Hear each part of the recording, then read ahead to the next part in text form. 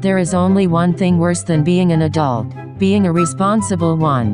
One minute I am chasing my tail, and the next I am expected to have my life together. Who came up with this nonsense anyway? As a fully grown adult, mom and dad told me to always follow my dreams. So I went back to bed. And the food prices are so out of control the next time you guys go to the supermarket, your payment options are going to be cash, credit, kidney, or soul. And let's not forget about all the pain. Mom said she has definitely reached the age where if she sleeps with the wrong pillow, it feels like she fell out of a 12th story window. And dad said when he was a kid, all he wanted was to be an adult, but now that he's all grown up, all he wants to do is lay face down in the carpet.